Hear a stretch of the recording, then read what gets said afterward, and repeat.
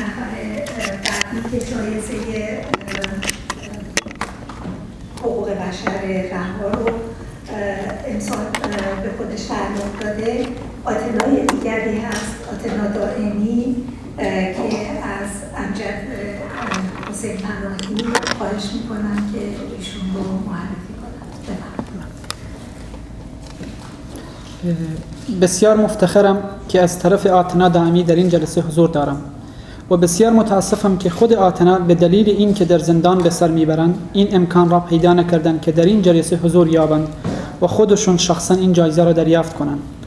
من ابتداعا اجازه می‌خوام پیامی را از طرف خود آتنا که از زندان برای هیئت داوران و شرکت کنندگان این جلسه فرستادن بخوانم.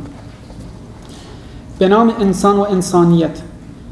این جانب آتنا دائمی از تاریخ 29 هفته 1393 در زندان به سر می‌برم.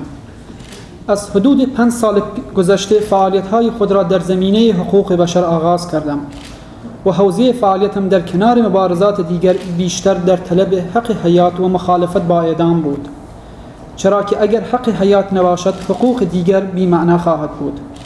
حقوق بشر در سال 1948 میلادی بعد از تلاش ها و کوشش های فراوان تصویب شد اما نه به خاطر نه به این دلیل که تبدیل به بازی و استراتژی سیاسی شود.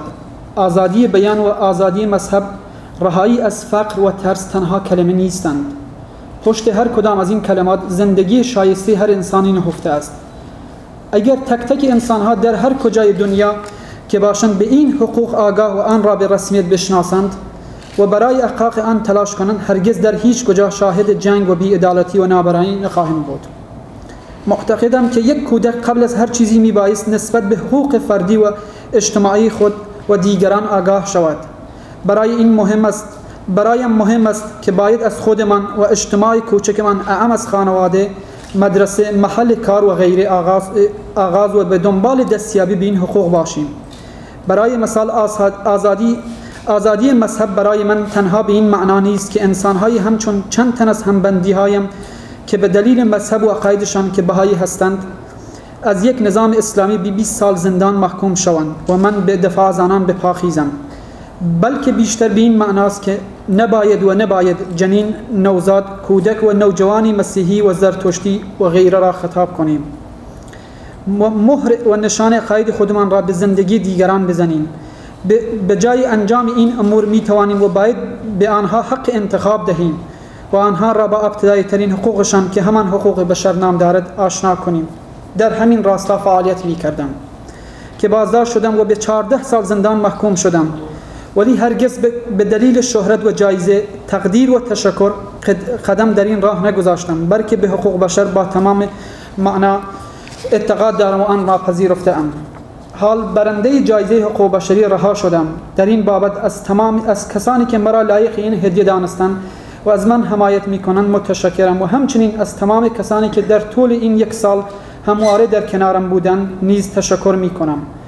امیدوارم روزی رسد که هرگز شاهد جنگ و بیعدالتی و نابرابری نباشیم. با امید آزادی و رهایی همه انسانها آتنا دائمی زندان اوین.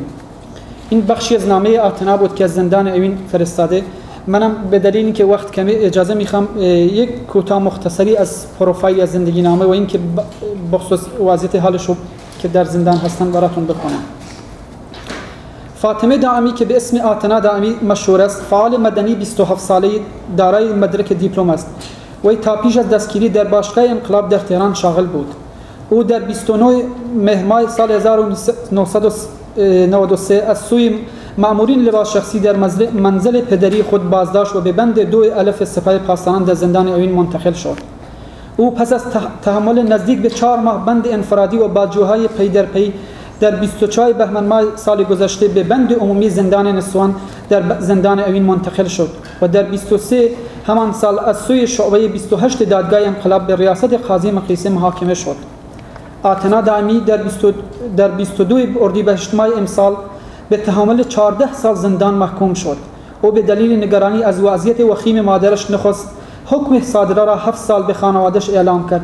اما در اولین ملاقات پس از دادگاهش به خانواده اعلام کرد که در حقیقت حکم صادره از سوی قاضی مقیسه تحمل 14 سال زندان بوده است.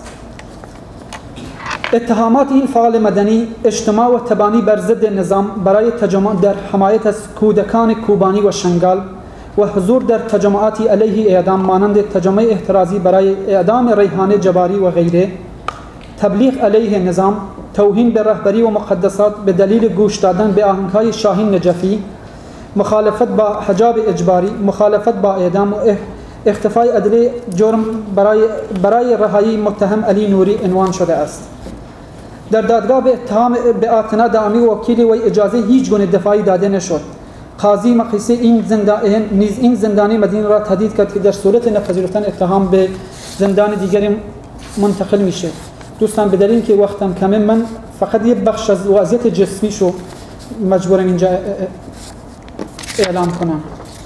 آتنا همکنون آتنا دائمی سابقه بیماری قلبی دارد. او در او در دوران حبس انفرادی به دلیل نگهداری طولانی مدت در سلول انفرادی و شرایط بد بهداشتی بازداشتگاه و عدم دسترسی به هواخوری و نور آفتاب دچار ناراحتی پوستی و همچنین ضعف شدید بینایی شده بود.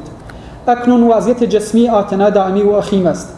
شرایط جسمی و روانی او دستخوش بحران شده است. سردردهای مداوم دوبینی ضعف چشم ضعف استخوان ضعف شنوایی افسردگی و فراموشی علائم بیماری های این مدافع حقوق بشر زندانی هستند.